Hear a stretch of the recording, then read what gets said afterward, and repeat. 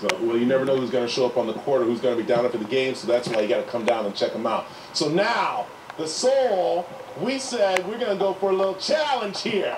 So, I was going to slam, but uh, but that he seven. I can't take that on. So we're going to do some half court challenge. Let's do. Come on out here. We got a half court challenge. Also, too, so, we're going to go this way. Also, I just found I want to grow this new beard right here. This guy right here. This is a man right. Look at that. That fancy. That's how you have to be. So, all right. Who wants to go first for the uh, half court? Do you want me? Want me to go first? All right. You, you hold the microphone. We live here. All right. So now, now, have you ever gotten a half court shot like this?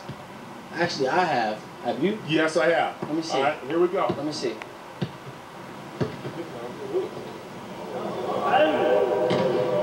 Go ahead, go ahead. Yeah, we we each get three chances. We each get three chances. Go ahead.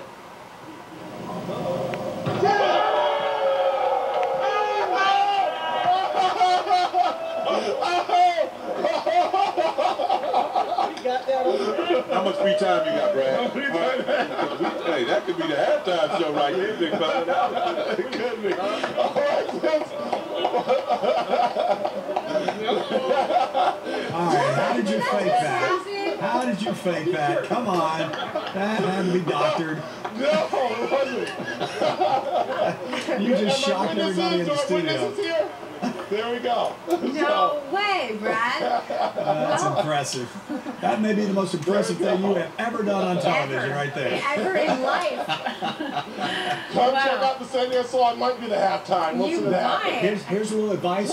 Quit while you're ahead. Yeah, don't, don't ever play take All it right, over. that's why I'm walking away right now. Thank you guys. Good night. Thank you. Good night, Brad. Thank you. We may have to roll that one back though. See it I need again. to see it again in slow mo. Coming up, we've got something guaranteed to brighten up your Monday morning.